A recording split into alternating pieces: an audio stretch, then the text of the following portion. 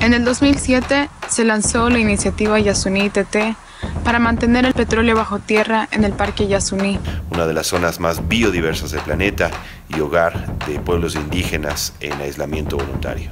Esta iniciativa, la primera de su tipo en el mundo, fue cancelado por el gobierno ecuatoriano en 2013. Se ordenó la explotación del petróleo en el Parque Yasuní, diciéndonos que se iba a afectar solo el 1 por mil. Imposible de cumplir.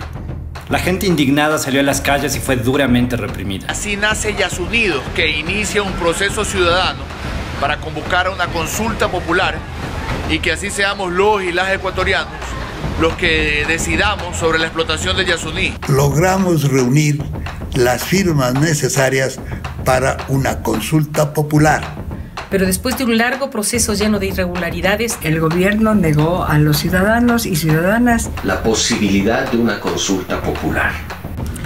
Para explotar el Yasuní, el mismo gobierno emitió una licencia ambiental. Con supuestas medidas para reducir el daño. Y el propio expresidente de la República, Rafael Correa, se comprometió a que se utilice en la explotación una supuesta tecnología de punta. Señor presidente, yo firmé por la consulta. Yo soy un yasunido. Yo soy una yasunida. Yo soy un yasunido. Soy una yasunida. Yo soy yasunido. Soy una yasunida. Yo soy yasunido.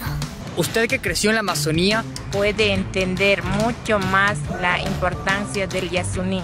Demuéstrenos su transparencia. Pare la explotación en el ITT. Sal de la deuda del gobierno con las y los ecuatorianos. Y devuélvanos el derecho a decidir si el crudo debe mantenerse bajo tierra. Miremos lo que se ha hecho hasta hoy y si se ha afectado la naturaleza. Remediemos el daño causado y determinemos responsabilidades. Todavía estamos a tiempo si crees que el Yasuní debe ser cuidado como uno de los lugares más importantes del Ecuador del mundo. Escriban al presidente a su cuenta de Twitter con arroba Lenin o a su Facebook usando el hashtag Yasuní en la consulta. Demostremos que un país pequeño puede liderar la lucha contra el cambio climático.